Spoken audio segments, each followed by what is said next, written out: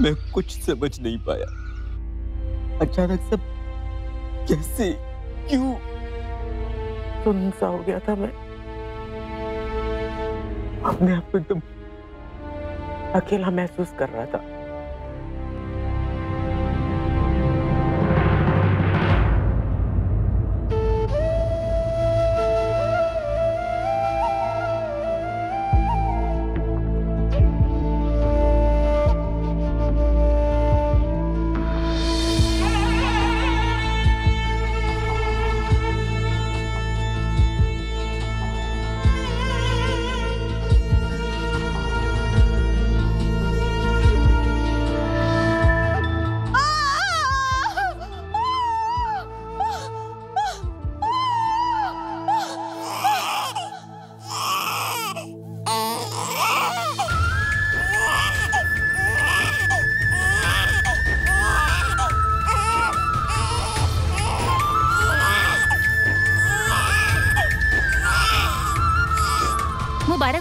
मीनू जी ने बेटे को जन्म दिया है। माँ और बच्चा दोनों बिल्कुल ठीक हैं, क्योंकि नॉर्मल डिलीवरी हुई है, इसीलिए अब उन्हें बहुत ही जल्दी उनके रूम में शिफ्ट कर देंगे। उसके बाद आप उनसे मिल सकते हैं ओके थैंक यू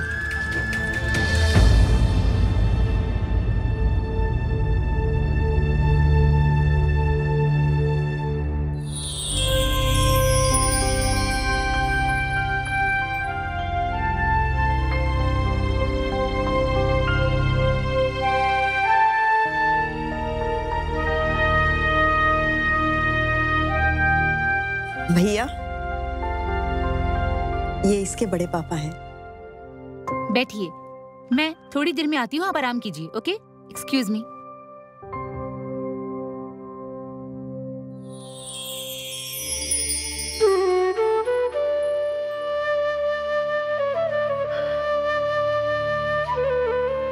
बहुत सुंदर है ना? आई एम सॉरी भैया। मैं डर के मारे पागलों की तरह चिल्ला रही थी दीदी के लिए। मैं बिल्कुल भूल गई कि दीदी भी प्रेग्नेंट है और उन्हें भी आराम की उतनी ही ज़रूरत है। पर आपने बहुत अच्छा किया जो उन्हें नहीं बुलाया। आप जब वो आएँगी ना इसे देखकर बहुत खुश होंगी।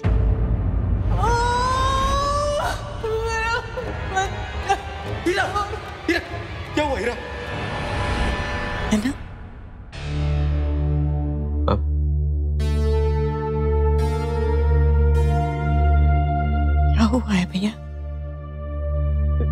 आलोक शेखर आप ही हो ना?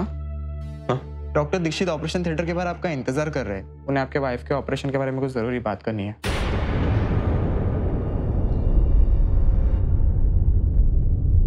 दीदी के ऑपरेशन के बारे में? क्या हुआ है दीदी को? बोली ना क्या हुआ है? वो ठीक नहीं है विनोद। हीरा ठीक नहीं है। प्लीज़ दीदी को बुलाइए। हीरा मीनू को लेबर पेन शुरू हो गया है। वो बार बार तुम्हारा नाम चिल्ला रही है। प्लीज़ तुम जल्दी आओ। मुझे बहुत घबराहट हो रही है।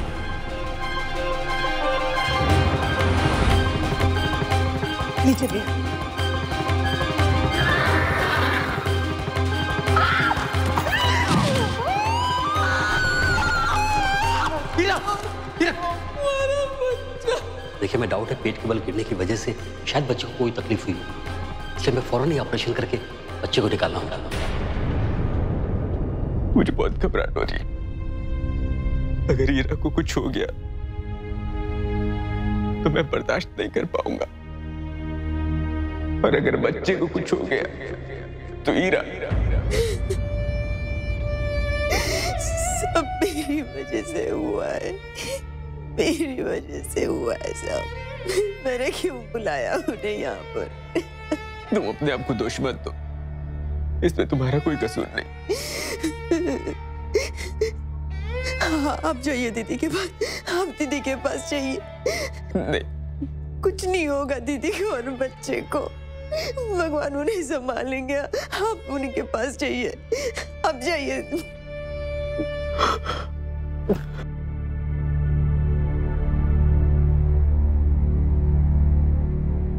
एम सॉरी हम बच्चे को नहीं बचा सकते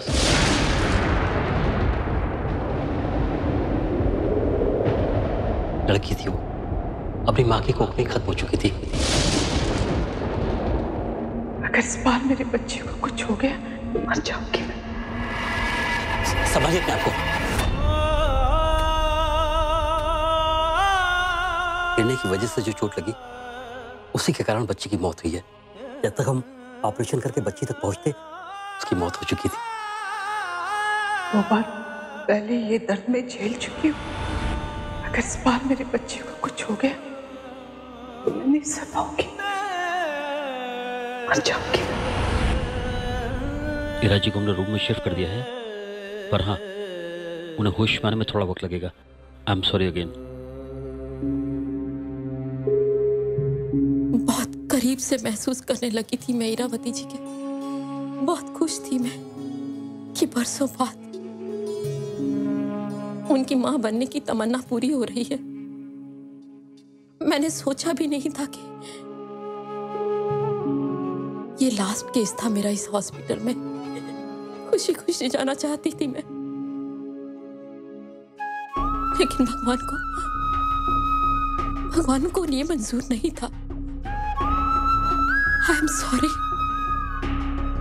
सुनो, मैं घर जा रही हूँ। मेरे बेटे की तबीयत ठीक नहीं है। तुम इरावती जी को संभाल लेना जरा।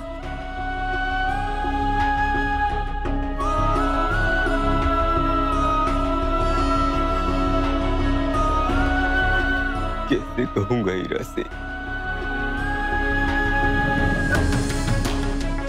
उसका डर सच हो गया।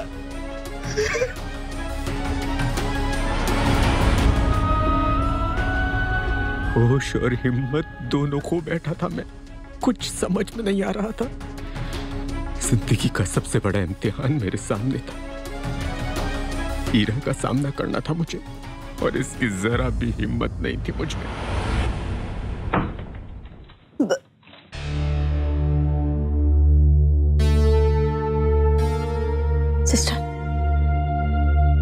आपको ईरा जी और उनके बच्चे के बारे में कुछ मालूम है? मे, मेरी बड़ी बहन है वो। हॉस्पिटल के कंपाउंड में गिर गई थी उसके बाद ऑपरेशन। ईरावती शेखर? एक्चुअली पेट में चोट लगने की वजह से उनकी बच्ची बच नहीं सकी।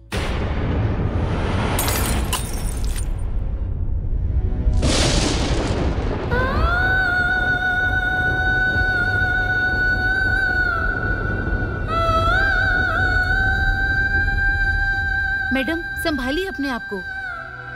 इस हालत में आपका भी इतना रोना ठीक नहीं है। देखिए, भगवान की मर्ज़ी के आगे हम लोग कुछ नहीं कर सकते।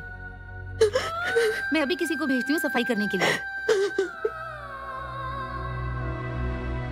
सब मेरी वजह से हुआ। सब मेरी वजह से हुआ।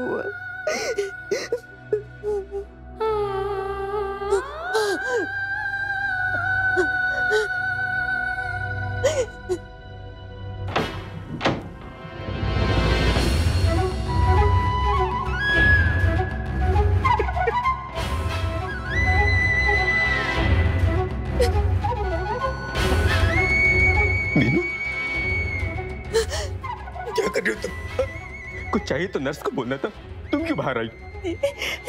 दीदी का बच्चा नहीं रहा भैया। दीदी का बच्चा नहीं रहा।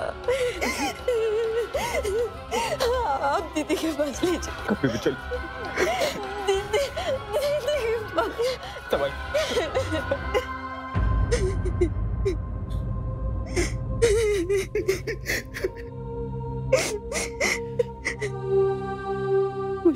जब दीदी को होश आएगा तो सबसे पहले वो अपने बच्चे के बारे में पूछेंगी, क्या बताएँगे उन्हें? मैं नहीं जानता कि मैं कैसे कहूँगा उससे। पर मैं ये जानता हूँ हीरा को हमेशा के लिए खो दूँगा।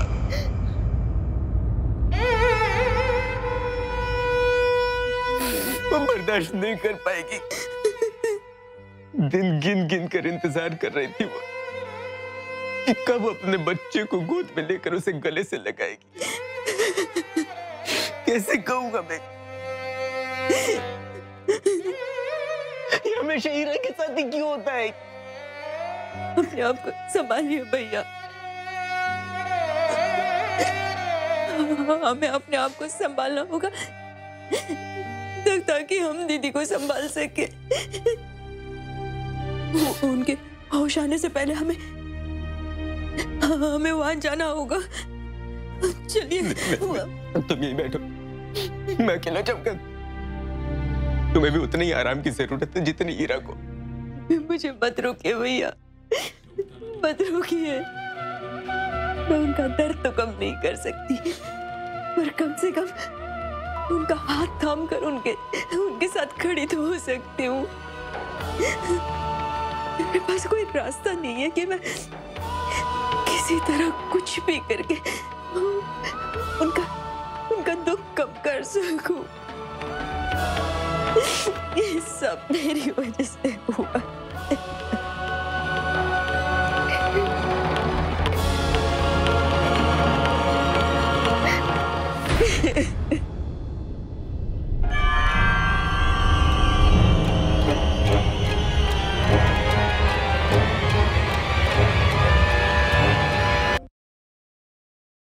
तुम अपना बच्चा हीरा की गोद में डाल सकती हो।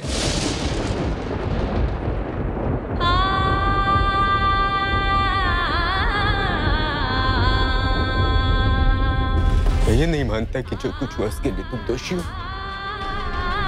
लेकिन अगर तुम्हें लगता है कि हीरा के साथ जो कुछ हुआ,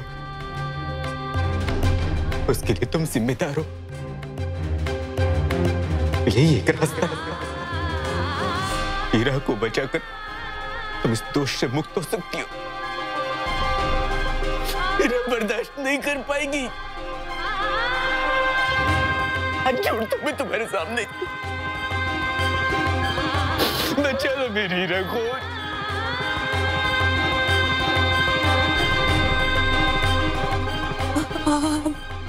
आप ये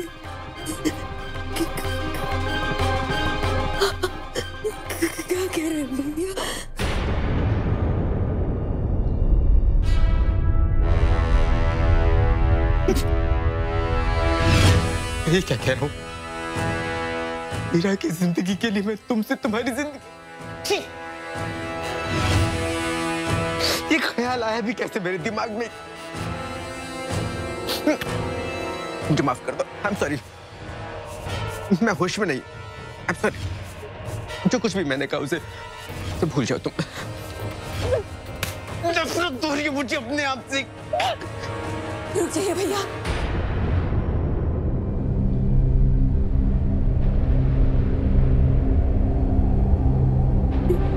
यहाँ आइए।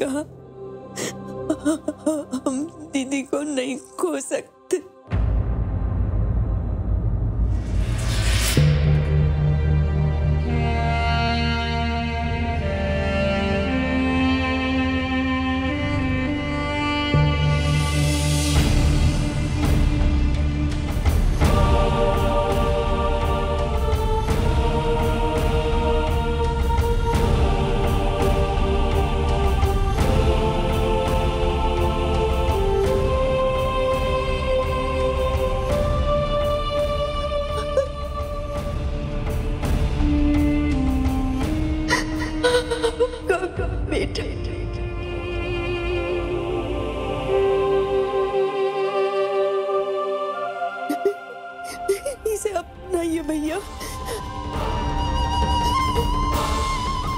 आपको मेरी कसम है। दीदी के लिए। इसे अपना लीजिए।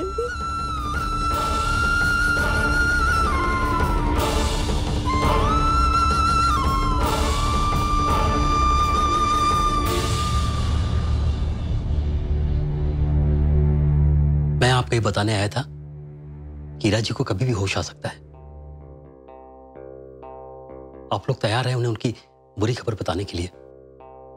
और यहाँ आकर जो मैंने सुना, मुझे विश्वास नहीं होता कि आज के जमाने में भी कोई ये आपका बच्चा है, आपके शरीर का हिस्सा है। आप इससे अलग रह पाएँगी? मेरा हिस्सा है लेकिन जिनके लिए मैं इसे अपने से दूर कर रही हूँ, वो भी कोई गैर नहीं है, डॉक्टर साहब। हीरा दीदी सिर्फ़ सिर्फ़ नाम के लिए मेरी दीदी नहीं है। उन्होंने इतने सालों में एक बड़ी बहन के सारे फ़र्ज़ निभाए हैं मेरे लिए। आज मुझे मौका मिल रहा है कि मैं उनके लिए कुछ कर सकूँ। इससे पहले भी दो बार अपनी कोख उजड़ने का दर्द सह चुकी है वो।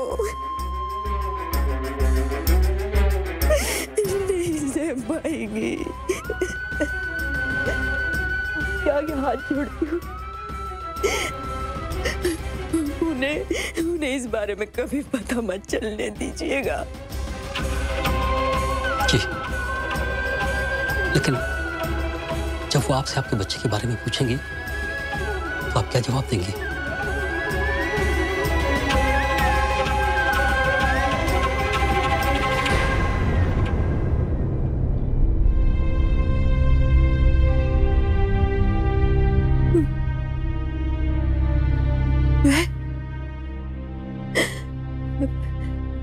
मैं उनसे कह दूँगी। कि वो मरा हुआ बच्चा मेरी कोख से पैदा हुआ था।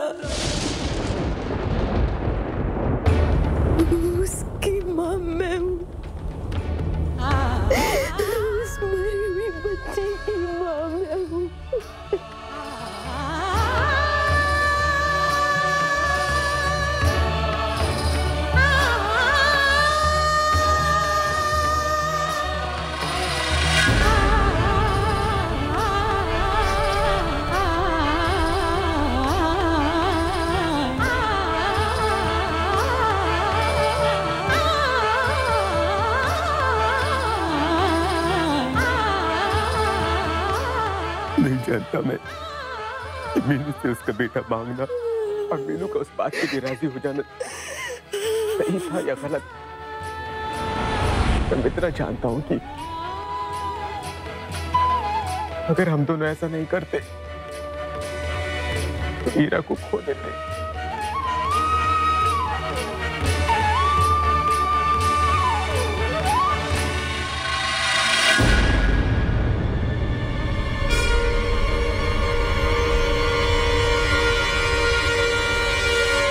किसी दम तोड़ते इंसान को अगर भगवान पूरी ज़िंदगी वरदान में दे दे, कुछ वैसा ही महसूस कर रहा था मैं।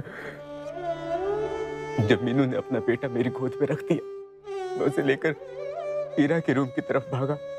मानो, हीरा की ज़िंदगी नन्हे शिव के रूप में उसे लौटाने जा रहा हूँ। कहाँ है मेरा बच्चा सिस्टर अब अब जवाब क्यों नहीं दे रही मुझे मेरे बच्चे को देखना है। सिस्टर बताइए ना मेरा बच्चा कहाँ है? प्लीज़ सिस्टर जी वो आपका बच्चा। यहाँ है तुम्हारा बच्चा हीरा।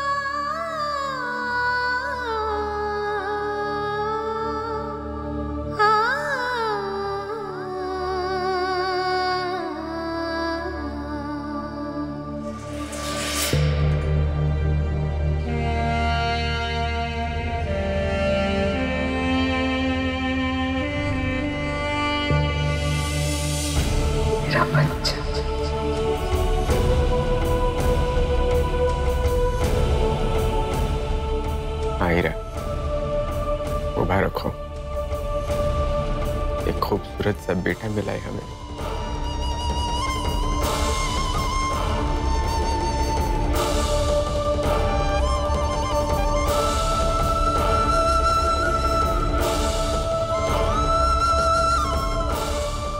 नारी में त्याग की अपूर्व क्षमता होती है, किंतु किसी के अभाव का संताप मिटाने के लिए अपने मातृत्व का परित्याग कर देना अतुलनीय है।